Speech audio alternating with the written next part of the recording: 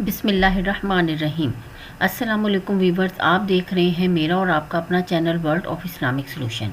आपके लिए दुआओं का खसूसी तौर पर अहतमाम किया गया है। जो भी तीनों हजरा दुआ के लिए अपना नाम देना चाहते हैं, वो कमेंट सेक्शन में अपना नाम दे सकते हैं। इन ताला खसूसी तौर पर उनके लिए दुआ की जाएगी।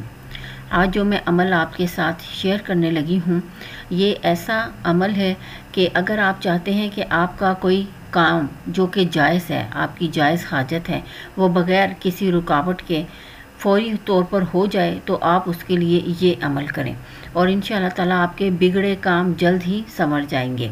इस सिलसिले में मैं आपको एक मुशाहिदा भी एक साहब का बताना चाहती हूँ। वो फरमाते हैं, मोहतरम शेखुलवज़ाइफ असलकुम ये अमल मेरा नहायत आजमूदा है कि अगर आपको किसी बंदे से कोई हाजत या कोई मसला हो तो सात बार सूरह नसर पढ़कर इसकी रूह को हदिया कर दें।